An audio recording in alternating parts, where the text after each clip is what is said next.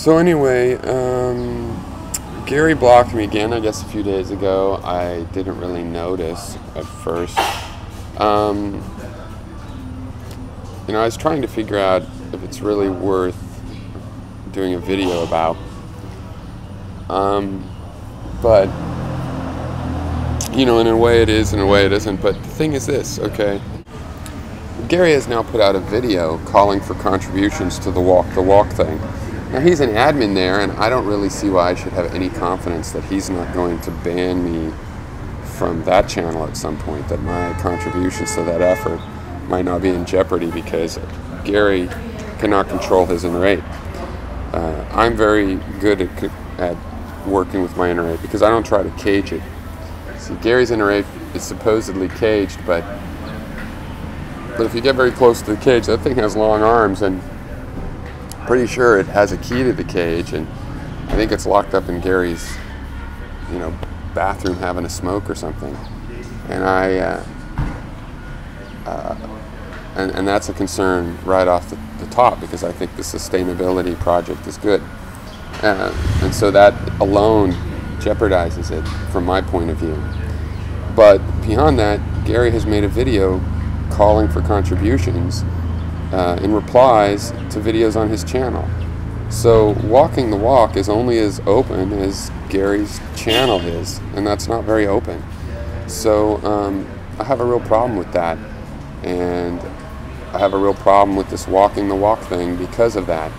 And um, you know, I'm sorry, it doesn't change my view about sustainability. It just affects my view of why the internet is such a fucked up place to try to do activism at times because people are in full on property rights mode like Gary. You know, it's his channel is property, so it's fine if he just does it on a whim. It's fine to let the inner ape decide who's banned or not because this is his private property and that's all it affects. Oh, except for no, see, it affects everything else too.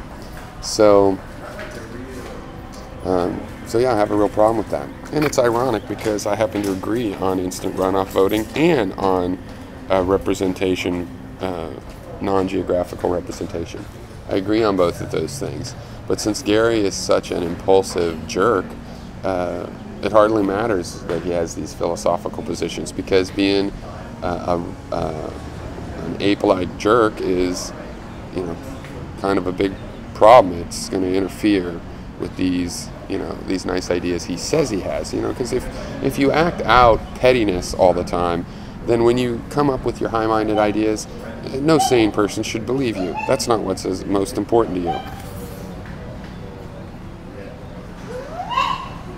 I'm, I'm about a thousand million quadrillion times more objective than Gary, and I know how I know how to tame that inner ape. Gary's clueless.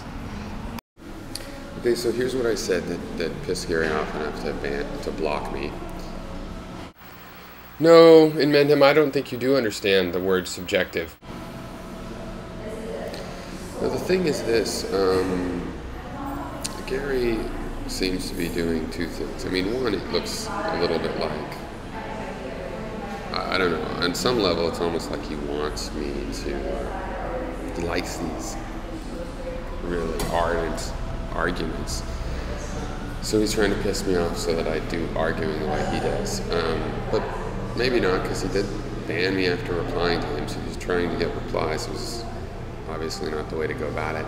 But I think really it's two things. One, Gary's inner ape wants an exclamation point when he gets mad, and it's like, gonna ban, click. You know, the little point and exclamation is where he clicks and bans. Um, and then the other thing is that uh, he's trying behavioralism on me, and I know that from the first time he unbanned me, where he said the list of things he banned me for again and not to do them. Well, here's the thing. Um, I don't like being manipulated with behavioralism. So when I notice that it's happening, I subtract it out. Just like we were talking about having to subtract bias. You know, I will let somebody get me angry. I I don't think I think there's a place for anger and, and all the medium forms of anger and stuff in this world. But if I find that somebody's trying to make me angry, then I won't let it get me angry. You know? I will subtract that out. Just like I would a bias. You see, the will comes along and is like, tell Gary fuck himself forever. And I'm like, well, I don't think there's much point to that at this point. And then the will comes up with another suggestion. You know, and, and in this way we, we filter because we can feed to the will perceptions. We can clarify to the will, hey, there's a bigger picture. And the will, in my case, listens. In Gary's case, evidently doesn't listen. It has to be put in a cage. Or we're told it's put in a cage, but we see the thing gets out a lot, doesn't it? And, um, and so it's sort of relevant because it's about subtracting bias, it's about modifying our perceptions in a conscious way with our uh, deeper understandings. So, um, yeah, um, Gary, if somebody says you don't understand a term, that's not an insult unless you think you have infinite into knowledge already. Uh, if I said you could never understand this term because you're too stupid, uh, that would be an insult. And if I said you'll never understood stand the term because your inner ape won't give you time to, comprehend it, uh, that would just be the facts.